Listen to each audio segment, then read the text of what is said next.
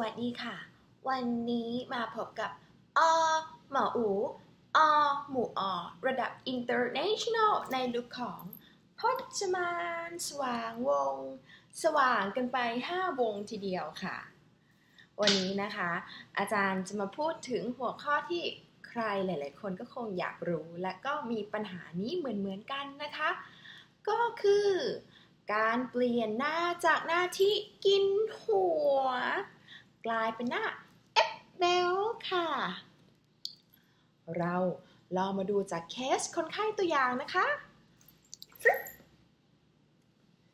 เห็นไหมคะว่าเคสคนไข้ตัวอย่างเนี่ย นางมี look หน้าตาที่ look so angry แล้วก็กินหัวเหลือเกินนะคะ เราลองมาวิเคราะห์กันที่ช็อต by ช็อตจุดต่อจุดนะคะว่าอะไรนะทำให้นางดูกินหัวขนาดนี้ค่ะ อันดับแรกนะคะ คือตรงส่วนของ upper face ค่ะ จะเห็นว่าตรงขมับแล้วก็หน้าผากนางค่อนข้างแบนแคบและบุ๋มนะคะทางด้านโหงวเฮ้งเนี่ยค่ะ ผู้หญิงที่หน้าผากแคบนะคะขมับบุ๋มเนี่ยจะแบบอัพพับค่ะอัพพับทุกสิ่งอัน ต้องทำงานเหน็ดเหนื่อยสามีไม่ตามอกตามใจซับสลิงคานได้มาโดยยากนะคะ ถ้ากันพูด กันถึงเรื่องทางวิทยาศาสตร์เนี่ยนะคะ มันก็มีประเด็นเหมือนกันค่ะ เพราะจริง ๆ แล้วคนเราเนี่ยนะคะเวเวลาที่จะมองหน้าใครเนี่ยเราจะโฟกัสตรงนี้นะคะ ทางอินเดียเรียกว่าเป็นบริเวณ third eye นะคะ เป็นตาที่ 3 ก็คือเป็นแหล่งที่รวมพลังของใบหน้านั่นเองค่ะ คนที่ตรงมีบริเวณตรงนี้แจ่มใสนะคะ ได้เคอร์ฟที่กลมกลึงแสงเงาตกกระทบสวยงาม ก็จะมีบุคลิกภาพที่ดีค่ะ ต่อไปนะคะจะเห็นปัญหาของนางค่ะว่าหน้าฉันโหนกพุ่งชีฟ้ามากเลย แล้วก็ใหญ่โตอลังการมหาศาลบานบุรีมากนะคะ คนที่หนกใหญ่นะคะ โดยเฉพาะผู้หญิงเนี่ยในทางโงเฮงเนี่ยบอกว่าผู้หญิงผู้นั้นจะช่างลำบากตรากตำเลือเกินนะคะ มีอะไรก็มีความเหนื่อยเหนื่อยนะคะ เพราะอะไรคะ เพราะเอ่อ personality นะคะหรือลักษณะนะคะของผู้ชายเนี่ย จะมีลักษณะโครงกระดูกที่ใหญ่ และหนกใหญ่ แปลว่า ถ้าผู้หญิงไปมีลักษณะของผู้ชายนะคะ ผู้หญิงคนนั้นก็ต้องมีความเหนื่อยหนาระอาใจอยู่นั่นเองค่ะ พอมาพูดเรื่องประเด็นวิทยาศาสตร์นะคะ ก็ตรงไปตรงมาค่ะ พอเรามองหน้าคนที่มีลักษณะเหมือนผู้ชายนะคะ เราก็จะรู้สึกว่าเขาแข็งแกร่งแบบแมนมากๆค่ะ เวลาจะไปขอความช่วยเหลือใคร คนก็จะแบบมองบน ก็ไปทำเองสินะตัวเอง รักนาจุ๊บๆแต่ไม่ช่วย จะเป็นลักษณะนั้นกันซะมากนะคะ นอกจากตรงบริเวณโหนกค่ะ ในเคสนี้ก็ยังจะเห็นว่าตรง mid face นะคะ ตรงแถวแถวบริเวณนี้ค่อนข้างยุบนะคะ ในทางโหงวเฮ้งค่ะบริเวณนี้คือหมายถึงการ support นะคะจากผู้อื่นผู้ใหญ่เพื่อนพี่น้องนะคะ ตรงนี้เนี่ยถ้าแก้ได้ถูกสัดส่วนก็จะเป็นโหงวเฮ้งอีกอย่างหนึ่งที่ดี แล้วก็ทำให้หน้าดูว่าแป๋วขึ้นด้วยค่ะ ขยับลงมาค่ะ จะเห็นว่าปากนางนี่ดูงุ้มๆนะคะ มีความอูมสูงมากค่ะ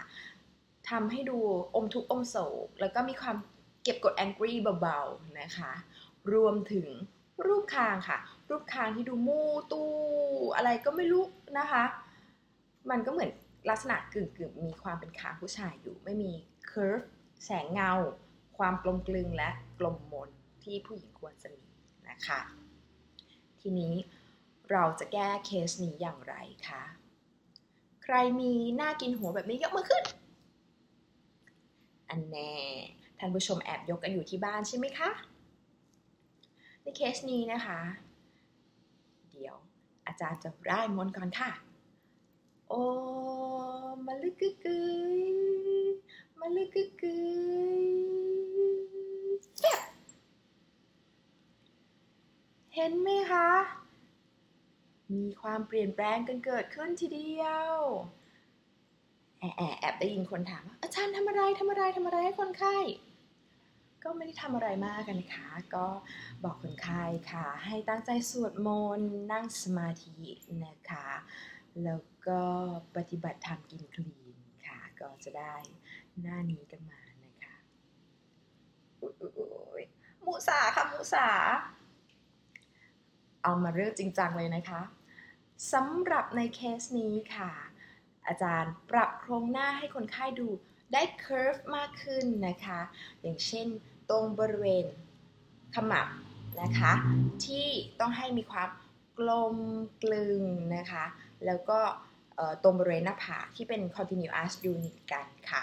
โดยการใช้ HA filler ในการปรับโครงสร้างหน้าให้หวานละมุนขึ้นนะคะ แสงกระทบตก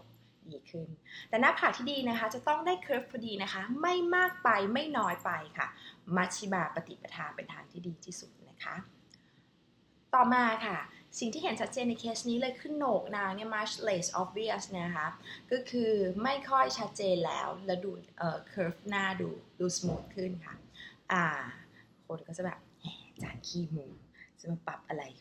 นางต้องไปที่เกาหลีไปทุบโหนกมาแน่ ๆ เลย พูดกันชัวร์ๆเลยนะคะ ไม่มีสัญญกรรมค่ะปึ้งกระดูกยังอยู่ครบทุกอย่างนะคะ แต่สิ่งที่เกิดขึ้นคือการปรับโครงสร้างหน้าให้ได้สัดส่วนขึ้น ก็จะเห็นว่าโหนกของนางดูละมุนละไมดูเป็นอิสตรีกินหัวน้อยลงขึ้นมาอย่างฉับพลันกันทีเดียวค่ะ ส่วนอื่นของใบหน้านะคะที่อาจารย์แกนเคสนี้นะคะ ก็คือในเรื่องของ curve harmonize หน้าค่ะ การปรับ jawline นะคะ แล้วสังเกตคางค่ะ คางหน้าเนี่ย ดูอ่อนช้อยมีละมุนละไมได้สัดส่วน รับแสงรับเงาอะไรดูเป็นหวานมีความเป็นผู้หญิงมากขึ้นมากนะคะ ไม่เหมือนของเดิมที่มันจะดูทุกๆหน้าอมๆยังไงก็ไม่รู้ค่ะ อีกจุดหนึ่งค่ะ ถ้าคนไข้สังเกตจะเห็นว่าปากนางเนี่ย ดูอูมน้อยลงค่ะ ดูฟันเหยินน้อยลงนะคะ ปัญหานี้เจอได้บ่อยนะคะ ในคนเอเชียนะคะ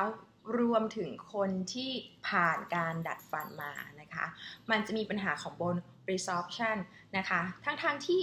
เอ่อ occlusion ไม่ได้มีปัญหานะคะ ก็คือฟันไม่ได้ยื่นไม่ได้เหยินอะไรค่ะ แต่ว่าหน้ามันดูอูมๆ ดูฟันยืนนะคะ เพราะสาเหตุสมุทัยโรคจริงๆ ไม่ใช่ฟันค่ะ แต่เป็นโครงกระดูกที่มันยุบตัวลงนะคะ อาจารย์ก็รักษาให้ในเคสนี้ โดยการใช้ HA filler นะคะ เสริมในบริเวณที่กระดูกยกตัวลงแล้ววางจอลายใหม่ วางข้างใหม่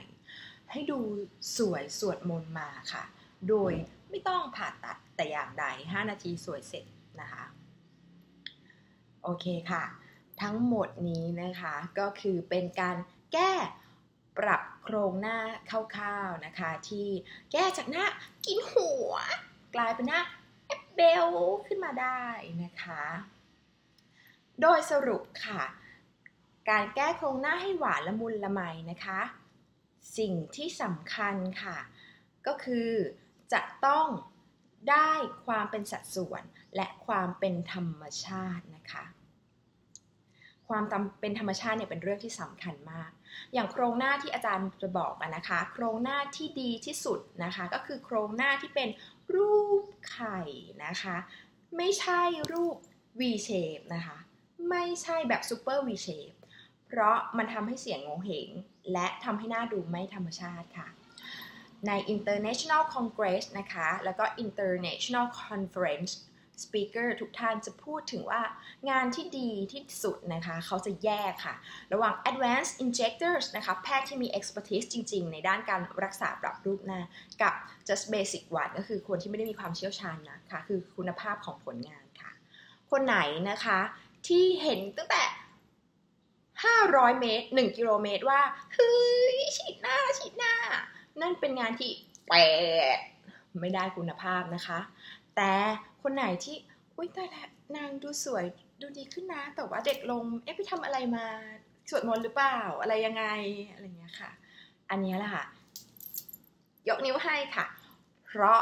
ต้องมีความเป็นธรรมชาตินะคะ หรือ natural look นั่นเองนะคะ แล้วอีกประเด็นหนึ่งที่อาจารย์ต้องเรียนทุกท่านนะคะ ก็คือ มัชชิมาปฏิปทาเป็นความสำคัญค่ะ คือทางสายกลางนะคะ ทางสายกลางคืออะไรที่น้อยไปก็ไม่สวยมากไปก็ไม่สวยนะคะ เพราะฉะนั้นแพทย์ที่มี expertise ใน facial design คือจะต้องมองออกค่ะว่าคนไข้ทำยังไงถึงจะสวยกลมกลืน natural และมัชชิมาปฏิปทา คือสวยพอดีพอดีนะคะ แล้วจะต้องมีจรรยาบรรณพอในการทักทวงคนไข้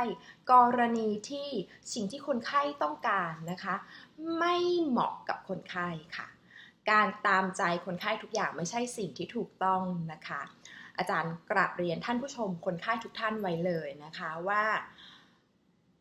คุณหมอท่านที่มี expertise และมีจรรยาบรรณจะกล้าแย้งคนไข้ในสิ่งที่คนไข้ต้องการ แล้วไม่ดีกับคนไข้นะคะ จะไม่ตามใจในสิ่งผิดๆ อาจารย์จะยกตัวอย่างง่ายๆนะคะ อย่างเคสของน้องน้ำตาลค่ะ เกิดคนไข้มีหน้าเหมือนน้องน้ำตาลจ้ะเป็นหญิงไทยค่ะหน้าตาดีคมเข้ม แต่เดินมาหาบอกว่า อาจารย์คะหนูอยากได้หน้าเกาหลีค่ะ อาจารย์ก็จะแบบมองบนแป๊บหนึ่งนะคะ แล้วก็ตอบกันไปตรงๆเลยค่ะว่า หนูขาถ้าหนูทำลุคให้แบบสวยคมแบบน้องน้ำตาลหนูอาจจะเป็น Miss Universe ได้นะคะ กรรมเก่าหนูเนี่ยไม่ได้สร้างมาค่ะ ในทางที่จะเออไปเป็นโกเรียนกินกิมจิอะไรแบบนั้นนะคะกรรมเก่าหนูไม่ได้มาทางนั้นค่ะ อาจจะไม่สวยนะคะ ก็ต้องกล้าพูดในสิ่งที่ถูกที่ควรและเป็นความจริงกับคนไข้ค่ะ ไม่ใช่ตามใจกันไปไร้สาระเลยเถิด พยายามทำเป็นหน้าเกาหลีก็ออกมาอ้าวสุดท้ายออกมาจบงงค่ะไม่มีที่อยู่ไม่รู้จะอยู่ประเทศอะไรยังไงดีนะคะ โอเคค่ะ วันนี้เราก็ได้ความรู้กันไปพอสมควรแล้วกับการปรับรูปหน้าของผู้หญิงกินหัว ให้กลายเป็นสาวแอปเปิลกันเรียบร้อยแล้วนะคะ แล้วเดี๋ยวกลับมาเจอกันใหม่ค่ะ กับอ้อหมออุ๊อาจารย์แพทย์ระดับ international อย่าลืมกด subscribe กันนะคะพจมานไปก่อนนะ บ๊ายบาย จุ๊บ